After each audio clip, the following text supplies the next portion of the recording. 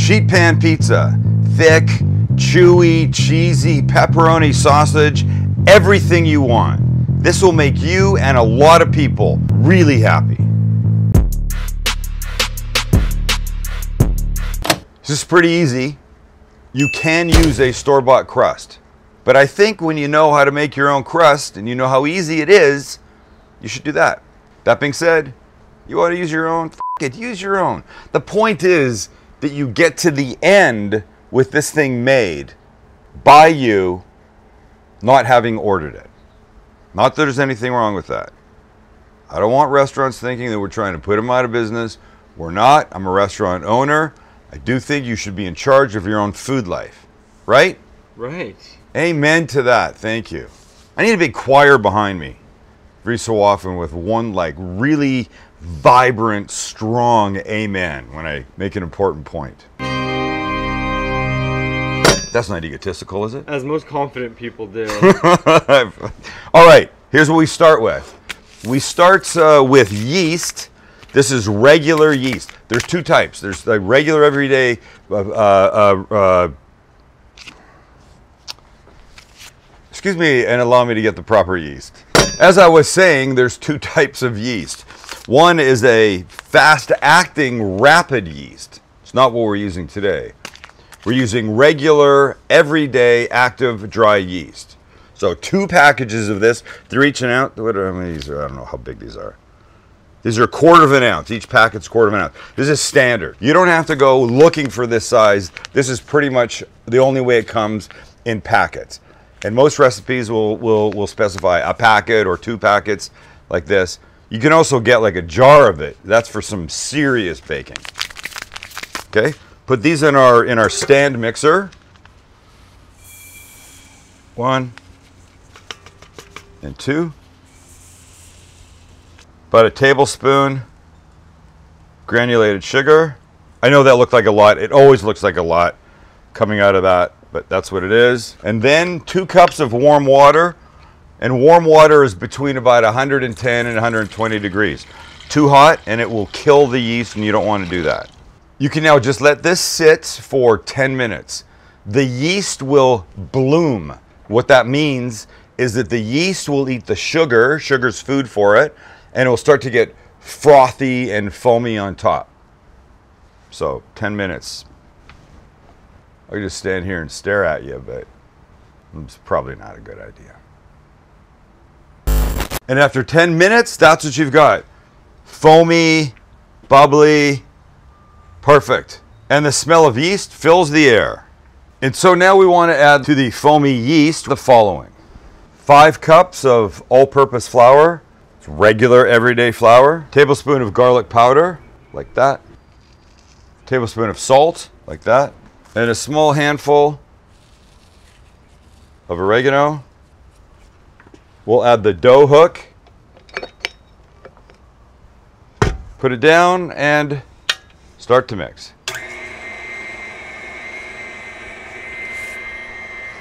And once everything's incorporated, we'll add about a quarter cup of olive oil. Let it go for another two or three minutes. And when it looks like that, it's done and we stop. Baking sheet time. Remember, one sheet pizza, baking sheet. We're gonna put some olive oil on it, get it nice and greased up. Spread this all over the bottom and the sides.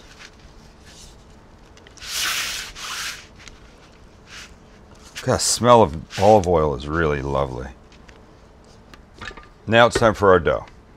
So we grab the dough, we plop it right on to the baking sheet. Plop, like that. And now we spread it out. So it's still fairly elastic. So take your time. We want to go end to end and wall to wall. And the olive oil on the bottom is going to help make this happen. Don't rush it. Have you voted for us for the Shorty Awards yet? Have you voted for us every single day? You can't vote, you every, vote day. every day. I voted every day. Wait, that's illegal. I'll have to cut that out. No, I'm just kidding. So now this is going to rise. So if you don't exactly make the edges everywhere, you're going to be okay because it's going to grow. But you can see what you're getting. And you can also see the flex in here. I can smell the garlic right here. The oregano is making a difference. This is all good. You could put red pepper flake in here, anything you wanted. So spread as evenly as you can. Before we put the toppings on, you're going to have another chance to make it as nice as you want. But for now, if you get this much coverage, you're going to be in great shape.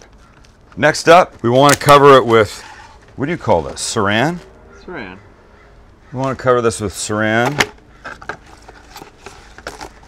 Except, I hate this blade on the edge. It's the worst product ever. Why have they not figured out a better fucking way? No idea, man. But also this, this fucking edge. Worse. Covered up. We're to take it, we're to put it where it's generally warmer than it is out here. So inside by the stove for about 45 minutes. In that 45 minutes, it's going to rise. It's going to do all the things that pizza dough is supposed to do. While that's happening, we can we can prep our toppings for it, which is perfect. But before we do, I would like to take this moment to apologize to Max. Something happened a few minutes ago. It wasn't caught on camera. I wish it was. We had a little bit of an argument, and I feel like I owe him an apology. Do you accept my apology? I do, yes. Do you accept my apology? I don't know that they could hear that. Say that louder. Do you accept my apology, Dick? I do accept your apology. See, this is what it is to be adults. We can both recognize when we were wrong. And we were both a little wrong. Yes. One of us more wrong than the other. And I'm not going to say who that was, but we're beyond it now. You can't work together in close quarters without stuff happening. The key is don't let it go on too long, though. That's the problem. Three things to prep in anticipation of our dough being ready. And we're very close. First up, we need a bunch of garlic squeezed into a bowl. And that's going to look like this. Three big cloves. One, two, and three. And the reason we want the garlic is because we're going to make a little garlic chili oil using some chili oil. Roasted chili oil. Look how gorgeous that is. And this we're going to brush on the crust before we put anything else on. That's going to do some great things for this. Next, mushrooms. We're going to use cremini mushrooms. We take out the stem like this. And we don't want too many mushrooms. Why, Max? Because Because you said we don't want too many mushrooms. Max said, not too many mushrooms. He also said no to fresh tomato and to green pepper because apparently that's some weird foreign fucking thing that nobody would ever put on a pizza. People are out there going, yeah, good call, Max. I don't think anybody's saying good call. Alright, well, I guess we got our fucking poll today. Fuck Max, uh, I put tomato on every single fucking pizza I have. Always. Oh, you can hear him mumbling away behind the camera. This is our poll. Should we have put tomato and green pepper on this pizza? Yay or nay? It's that simple. A yay is a vote for me, a nay is a vote for the biatch behind the camera. You can vote against him just because he's your favorite You can. YouTuber. You can vote against me. I'm completely fine with that. Food's gonna suck from the rest of our channel days, but it's up to you. No, that's not fair. I'm only kidding. Vote with your heart. Sorry, your stomach. Vote with your stomach. Tomato, green pepper. Yes, no. Finish the mushrooms. And even though I'm cutting this one here, Max, I'm not saying we're gonna put them all on. I just want them at the ready. So let's put these on this plate in anticipation, in preparation, and now some fresh mozzarella. It is true. Like if you're ordering pizza with a bunch of 18 to 34 year old guys, it's not like they're gonna be like, oh, make sure you put tomatoes pepper. Because they don't know what's good, because they're stupid. And they're just going from playing Fortnite and jerking off to having pizza. Yo, Chad, make sure they add a bunch of fresh tomato on that pizza before we go out tonight. God, just because you guys don't like it. Fucking douches. I want sausage, pepperoni, and fresh tomato. So now a little bowl of fresh mozzarella.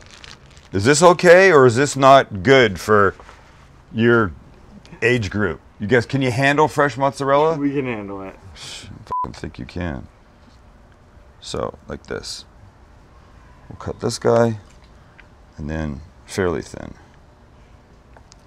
These guys are just going to get scattered across the top.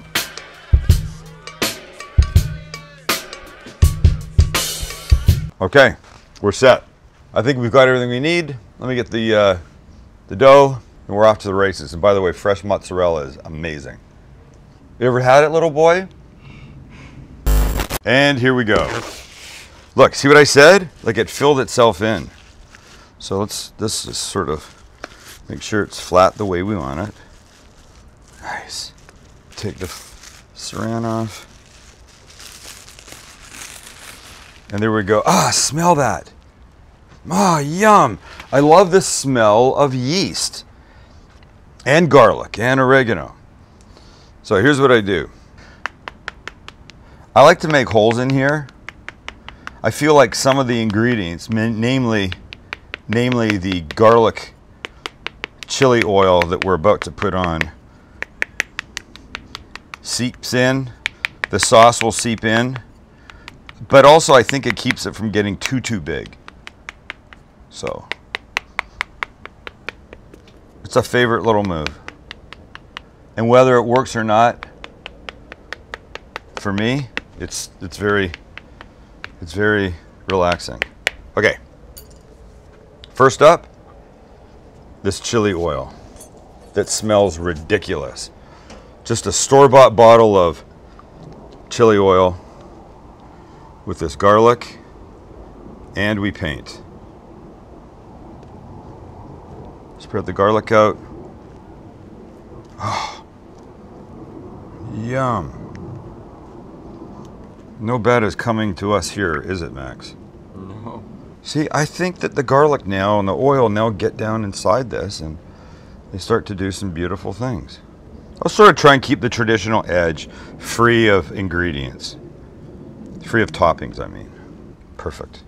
Next up, our sauce. You know, I'm a fan of making my own sauce. We've shown you how to make a really good marinara with about 10 ingredients. We showed you in the spaghetti and meatball episode how to take whole peeled San Marzano tomatoes and add only a couple of things to make a really delicious sauce. Today we're using crushed tomatoes only on top of this. Look, we're getting flavor from everywhere else. This is a very quick, easy way to do this. Cool? So we open the can up, take off the lid, and here's what you have inside. Look it, gorgeous, right? It's a beautiful kind of puree. So on we go. A few of these. Not too many even. Watch. We're trying to add some flavor. We're not trying to kill anything else by putting so much tomato on that you can't taste anything else. So I may have used, I don't know, a quarter of a cup, maybe maybe a third of a cup, and I don't really think I need any more than that. Next, Maxi, some shredded mozzarella cheese. And again, I don't really want to just decimate it with cheese. There's moments when I want lots of cheese, and this is this is not. I have two other cheeses to go on, so I don't need to kill it on this one. Next, we're gonna go mushrooms. And remember, Max, you don't want a lot, right?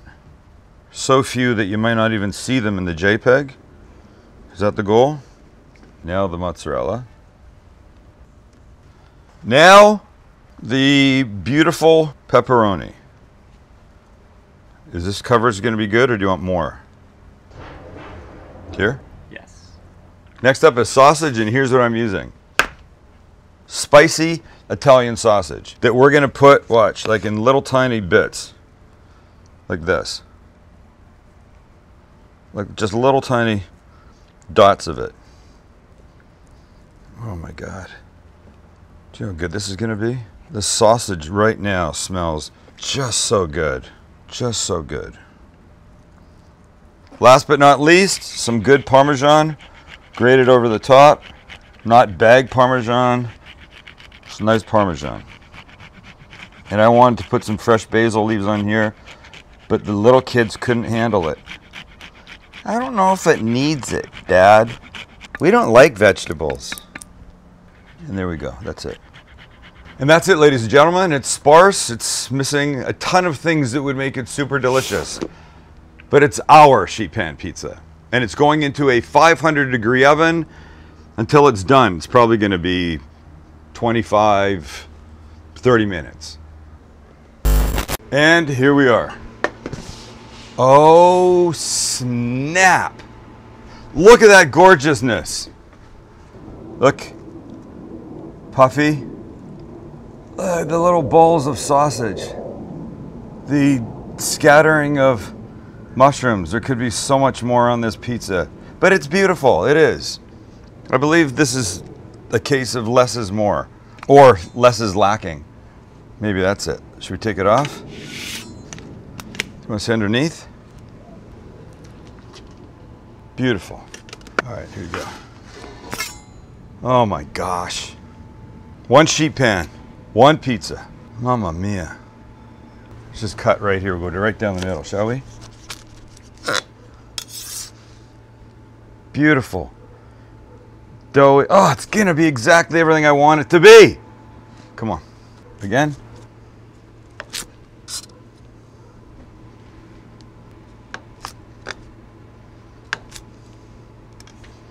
Look at this. Snap! Let's have a bite. I want to give it two things. One, a little fresh ground pepper. It's my personal favorite, like this. And I'm going to give it just another tiny drizzle of this chili oil. Uh-oh, too much. It's all right. Have it drip there. Benefit that guy. And now a bite. Look, it's glistening. It's gooey. It's it's almost everything that you want in a pizza, with the exception of green peppers and tomato and fresh basil. What can you do, right? You can have a bite. That's what you can do. Uh-uh.